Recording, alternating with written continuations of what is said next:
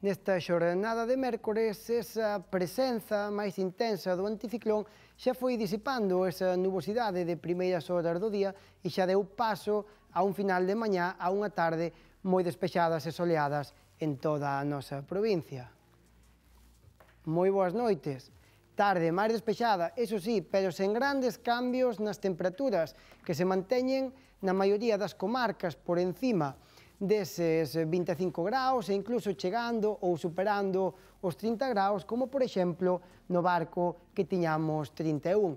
As mínimas que baixaron un pouquiño en algunhas comarcas incluso baixan dos 10 graus, por exemplo, en Xinzo de Limia que durante a pasada madrugada baixaban os termómetros ata os 7 graus ou, por exemplo, os 8 de Berín ou de Viana.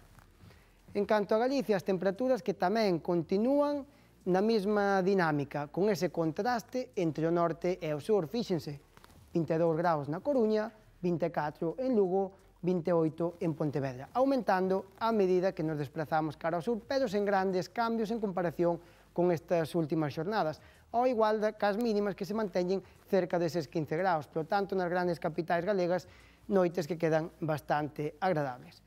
Pois ben, a imaxe de satélite que nos amosa perfectamente esa panorámica que tivemos. Como poden ver, xa na xornada de mércores, esa nubosidade, fíxense como desaparecía a medida que avanzaban as horas, dando lugar a unha xornada moi despexada, salvo nesa zona máis norte da nosa comunidade. Debido xustamente a que, aínda que seguimos nesa zona intermedia entre altas e baixas presións, nesta xornada de mércores, as altas presións gañaron ese pulso. E que nos espera para as seguintes xornadas? Pois eso, amósanolo a imaxe do modelo europeo. Vamos a seguir con ese pulso entre altas e baixas presións. Parece que na xornada do xoves, novamente, as altas presións gañan influencia, fíxense, ceos moi despexados na nosa comunidade, pero sí que é certo que de cara á xornada de viernes do fin de semana, as baixas presións poden ganar influencia incluso coa chegada de algunha fronte nese inicio da fin de semana que poida complicar a situación con nubes e incluso precipitación na nosa comunidade, pero que os iremos avanzando e detallando neste programa.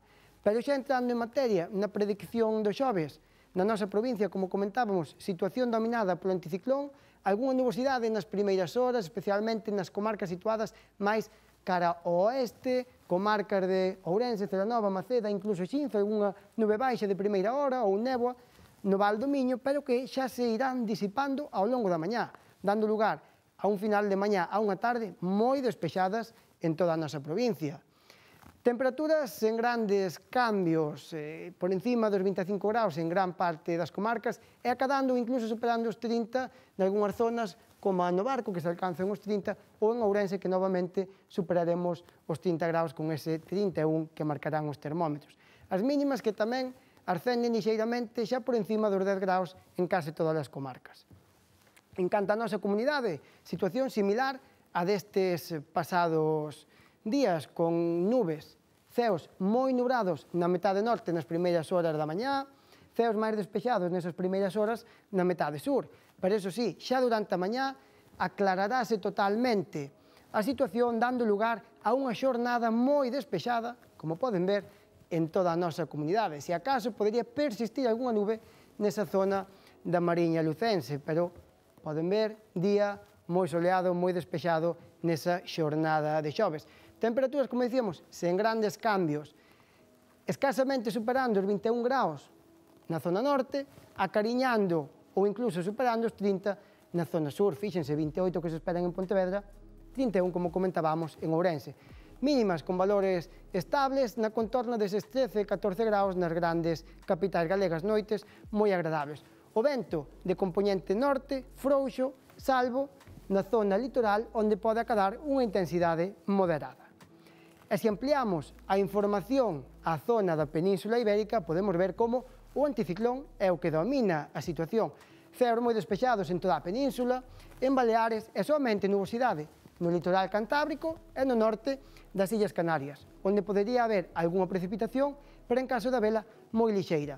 Xa durante a tarde poderíase formar algunha nube de evolución nos sistemas montañosos do leste peninsular, zona do sistema ibérico ou Pirineos, choivas que en calquer caso serán ailladas.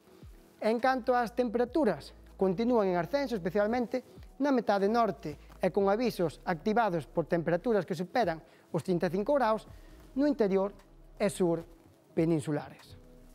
E xa para finalizar, O programa de hoxe queríamoslle falar do fenómeno do afloramento que se produce nas nosas costas entre os meses de maio e setembro aproximadamente, debido xustamente a esa maior presenza do anticiclón que vai a facer que teñamos ventos de componente norte ou nordés. Pois ben, estes ventos tenderían a desplazar a auga das nosas costas cara ao sur, pero como o noso planeta está xirando, polo denominado efecto Coriolis, este movimento vai a desplazar cada, cara a dereita, Por lo tanto, finalmente, o que temos é un desplazamento desa auga máis superficial cara ao océano. Isto que provoca? Pois como vemos na imaxe que lles vai aparecer en pantalla, que a auga máis profunda e máis fría ocupe ese oco deixado pola auga superficial. Por lo tanto, nesas praias das Rías Baixas está continuamente chegando auga máis profunda e máis frías. De aí que nesas praias a temperatura da auga nos meses de verán sexa bastante fresca.